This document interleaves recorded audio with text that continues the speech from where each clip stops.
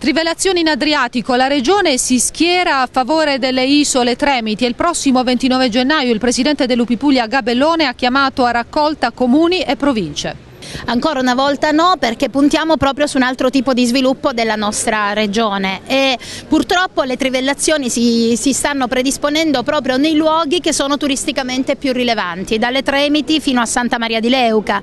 Eh, noi abbiamo impostato una strategia di sviluppo economico con gli imprenditori, con le istituzioni, con gli enti locali fondata appunto sul turismo e sulla manifattura sostenibile. Le trivelle in qualche modo incidono negativamente su questo piano piano eh, di attività, perciò io credo che ci vuole una grande mobilitazione per dire no, si faccia altrove questa attività, specialmente laddove il petrolio non fa altro che abbassare il proprio prezzo e non essere più quel combustibile tanto attraente quanto era in passato, quindi falliremmo due volte, rovineremmo lo sviluppo del turismo e della cultura e andremmo su un mercato che non ha più mercato.